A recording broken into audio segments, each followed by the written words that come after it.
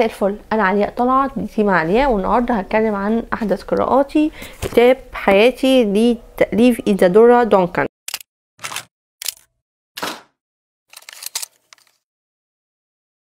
إيزادورا دونكان واحدة من أهم الراقصات اللي اتوجدوا على قيد الحياة في الكرة الأرضية. الراقصة استطاعت إن هي تغير في شكل الرقص الحديث بتعمل حالة أو حلقة وسيطة ما بين رقص الباليه الكلاسيكي اللي كان موجود قبلها والرقص بعدها الحديث أو الرقص الباليه الحديث اللي هو برضه يعتبر نتاج إيزادورا دانكن وتأثيرها في فن الرقص. الكتاب دوت صدر سنة 1927 آه وهي كتبته بعد مرحلة لاحقة في حياتها تقريبا قبل موتها بحاجة بسيطة تم صدوره ولكن أحداثه بتخلص سنة 1921 لما مرت بيه المرحلة بتاعت إن هي خلاص سابت أوروبا وراحت الاتحاد السوفيتي. حياتها بعد كده إن هي رجعت أوروبا تاني قبل وفاتها. إيزادورا دانكن التاريخ بالنسبة لها حاجة مهمة جدا. ليه؟ أولا هي ليها تأثير مهم جدا في تاريخ الرقص زي ما أنا قلت ولكن كمان موضعها في التاريخ كان مهم. هي كانت بنت بيئة مثقفة للغاية بيئة مختلفة تماما عن بيئة الأطفال الأمريكيين في وقت مولدها في نهايات القرن التاسع عشر. هي كانت طفلة لعائلة آه، مختلفة. أم مطلقة بسبب مشاكل مع الأب اللي عمل جريمة واستغل نفوذه كراجل بيشتغل في مجال البنوك وبالتالي سرق فلوس ولكن ما دخلش السجن ولكن الأم اللي كان عندها قيم أخلاقية معينة طلبت إن هي تتطلق منه وبدأت تعيش مع أولادها الأربعة. الأولاد طبعا كانوا عايشين في حياة فقيرة ولكن الأم كان عندها اهتمامات فنية كبيرة جدا. الاهتمامات الفنية الكبيرة دي نقلتها للأطفال اللي بعد سن معين ما بقوش بيروحوا المدرسة وكانوا بيشتغلوا في تعليم الفن والرقص للأولاد المحليين وفي نفس الوقت بيتثقفوا بشكل غريب جدا بشكل عنيف جدا. اتعرضوا لكامل الكتاب اللي قبلهم بداية من العصر اليوناني إلى العصر اللي هم كانوا عايشين فيه.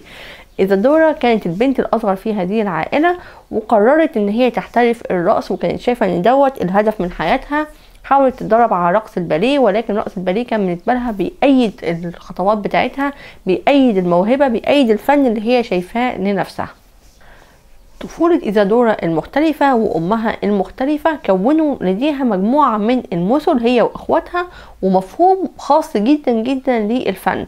المفهوم ده كان سابق لعصره بشكل كبير وبالتالي ما كانش ليها مكان في الولايات المتحدة وده كانت بداية رحلتها مراحل حياتها هو مش متقسم لمراحل لكن الكتاب القصة اللي فيه اللي كاتباها إيزادورا دانكن عن نفسها متقسمة لمراحل معينة. المرحلة الأولانية؟ زي ما قلت هي مرحلة الطفولة والثقافة المختلفة اللي تلقتها على إيد والدتها هي وإخواتها. المرحلة التانية بتبدأ بإن هما بيحوشوا مبلغ من الفلوس عن طريق إن إيزادورا بتتنازل عن فنها وبترقص في مسارح أمريكية عادية رقص اللي هي مش عايزاه عشان تحوش فلوس هي وأهلها ويقدروا يسافروا أوروبا. هي كانت عارفة إن مكانها مش في المجتمع الأمريكي اللي مش قادر في بحداثته إنه يتفهم روح الفن اللي هي بتنتمي لها روح الفن الكلاسيكي أو القديم اللي هي عايزة تقدمه واللي بينتمي أكتر لقارة أوروبا. وبالتالي بتسافر إلى لندن وهناك بتبدأ رحلة في التثقيف الحاجات اللي هي كانت عارفاها نظريا بقت تتعرف عليها عمليا زيارات لمتاحف زيارات للأماكن الأثرية. اتنقلت من لندن لباريس لفت أوروبا هي وعائلتها وهم في أفقر حالة ممكنة. بيحوشوا شوية فلوس بيصرفوها على الأكل وعلى ال- المتاحف وعلى الفنون وعلى القراءة وبعدين الفلوس تخلص يبدأوا يشتغلوا شوية وهكذا. لغاية ما بدأت المرحلة التالية وهي مرحلة صعود إيزادورا دونكن حول أوروبا وتكوينها سمعة كبيرة جدا. بسرعة بقت واحدة من أهم الفنانين الموجودين. آه كمان عزز دوت وجودها في علاقات أو في مجتمع كان فيه عدد كبير من الفنانين. رودان النحات العظيم جدا كان صديق إيزادورا دانكن ولكن ولأنها شخصية ما كانتش عملية أكتر ما كانت شخصية بتهيم في الخيال فهي كانت حياتها المادية دايما غير مستقرة. صعود وهبوط صعود وهبوط. تحوش فلوس تبقى غنية جدا بتروح تعمل جولات وبتبقى معاها فلوس وبعدين هبوط بتصرف الفلوس وبعدين تبدأ تاني في ال loop نفسه. وبالتالي هي كانت بتحقق نجاح كبير جدا على المستوى الفني ولكن على المستوى المادي كان دايما عندها صعوبات. إيزادورا كانت حالمة كبيرة حالمة كبيرة كان عندها حلم واحد حطاه قدامها وهو حلم إقامة مدرسة بتقدم فيها الفن بتاعها. مدرسة ليها شروط خاصة في دماغها مكلفة جدا جدا مش لاقية ليها sponsor يقدم الفلوس اللي هي محتاجاها وكانت بتصرف عليها بنفسها. وفي كل مرة كانت بتقدم المدرسة دي بالشكل اللي هي عايزاه بتستمر لبضع سنوات وبعدين بيحصل إن هو المدرسة بتفشل بسبب قلة الفلوس. الكتاب بيقدم لنا المراحل دي مرحلة الشباب مرحلة الطفولة مرحلة النجاح والمراحل الأخيرة من حياتها اللي برضو كانت بتمثل فيها نفس اللوب من النجاح في شوية فلوس وبعدين تخلص الفلوس وبعدين تدور على نجاح تاني وهكذا. ولكن الجانب المهم جدا في الكتاب هو أسلوب إيزادورا في تقديم حياتها. هي شخصية فعلا غير عادية شخصية عندها آراء صريحة جدا ومختلفة جدا عن العصر بتاعها وحتى عن العصر بتاعنا. هنلاقي إن مثلا ليها آراء في مؤسسة الزواج صارمة جدا. هي كانت ضد الزواج تماما. كانت شايفة إن مؤسسة الزواج هي مؤسسة قاتلة للعلاقات بين الناس وبالتالي كانت ضدها وما اتجوزتش ابدا. وعلى الرغم من ذلك هي أنجبت طفلين وهما الطفلين اللي كانوا برضو جزء مهم من الكتاب لأن فقدانها للطفلين دول كان ليه تأثير كبير جدا على شخصيتها ومستقبلها. طريقة كتابتها كمان للجزء بتاع الولادة والجزء بتاع وفاة الأطفال كانت حاجة مؤثرة جدا جدا. أنا هنا ما بحرقش الكتاب لأن دوت مكتوب في أول صفحة. هي أشارت إلى وفاة طفلها في أول صفحة. تاني هنلاقي إن في شوية حاجات كده علامات في شخصية إيزادورا موجودة في الكتاب زي الصراحة الشديدة جدا جدا مثولها الخاصة عن الفن تأثرها بالفنانين الآخرين في وقتها آه أفكارها وأحلامها المثالية عن الفن علاقتها كمان بالنظم العالمية علاقتها بأوروبا اللي كانت شايفاها منبر العلم علاقتها بالاتحاد السوفيتي اللي عاشت فيه فترة كبيرة من حياتها واللي كانت شايفة إنه بالفكر بتاعه دوت هو الفكر الصالح للفقراء وكان عندها كمان آراء مثالية جدا في الاتحاد السوفيتي وفي ما بعد الثورة السوفيتية. علاقتها بالولايات المتحدة واللي رغم إن هي بلدها الأم ورغم إن هي عاشت فيها طفولتها إلا إن كان عندها محاسيس مضطربة ناحيتها كانت شايفة إن هي فيها نوع من أنواع الجهل غير المتوافق مع مثولها العليا في الفن. وكانت شايفة كمان إن الفن الموجودين هناك ما هماش داعمين الفن بالشكل اللي هي متوقعاه والناس مش هتتقبل الفن بتاعها ونوع من التعالي على الفنانين اللي كانوا موجودين هناك.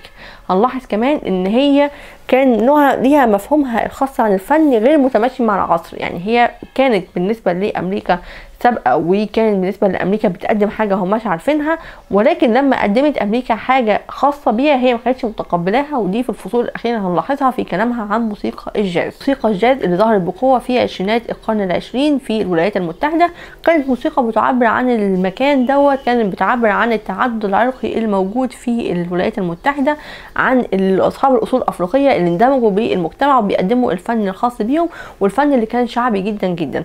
بالنسبة لإيزادورا دانكن ده ما كانتش شايفاه فن من أساس وهي ما كانتش فاهمة إن ده فن الشعبي وكانت ضده وكانت شايفة إن الفن الشعبي الأمريكي ما ينفعش لا يكون باليه ولا يكون جاز وكانت شايفة إن الفن ليه نظرة معينة هي اللي في دماغها. فده يخلينا نشوف إن على الرغم إن هي كانت بني آدمة متفتحة جدا على الرغم إن هي بني آدمة كانت صريحة جدا مع نفسها إلا إن برضه مفهومها للفن المثالي كان قاصر على تقبل الانواع الاخرى من الفنون. اللي تناولها الكتاب إذا دورا دانكن حياتي. ولكن كمان أنا هتكلم في النقطة دي عن انطباعي أنا عن الكتاب. الكتاب كان بالنسبة لي بيقدم اولا قصة حياة مثيرة جدا جدا مختلفة تماما إن تبقى الشخصية دي موجودة في بدايات القرن العشرين ونهاية القرن التاسع عشر. شخصية آه صعب إنك تلاقيها حتى دلوقتي في القرن الواحد وعشرين بعد مرور قرن على وفاتها تقريبا. فدي كانت حاجة مثيرة بالنسبة لي. ثانيا الكتاب شهادة مهمة جدا عن العصر دوت. هي زي ما قلت قابلت مجموعة كبيرة من الفنانين والممثلين والنحاتين اللي كانوا موجودين في العصر ده كانت علاقات قوية جدا معاهم. ناس إحنا بنقرأ عنهم وبنسمع عنهم بس. فلما تشوف وجهة نظر شخصية في الشخصيات دي حاجة بصراحة ممتازة جدا وممتعة جدا جدا يعني. طبعا رحلتها الخاصة كانت رحلة مثيرة. أنا مش متخيلة بني آدمة بتاخد إخواتها عشان تروح أثينا علشان يعيشوا إن هما بيرقصوا ويحاولوا يبنوا بيت في مكان المعبد القديم. هي قصة حياة مختلفة تماما وبتتنقل من أماكن مختلفة. فأنت طول الوقت ما بتحسش بالملل.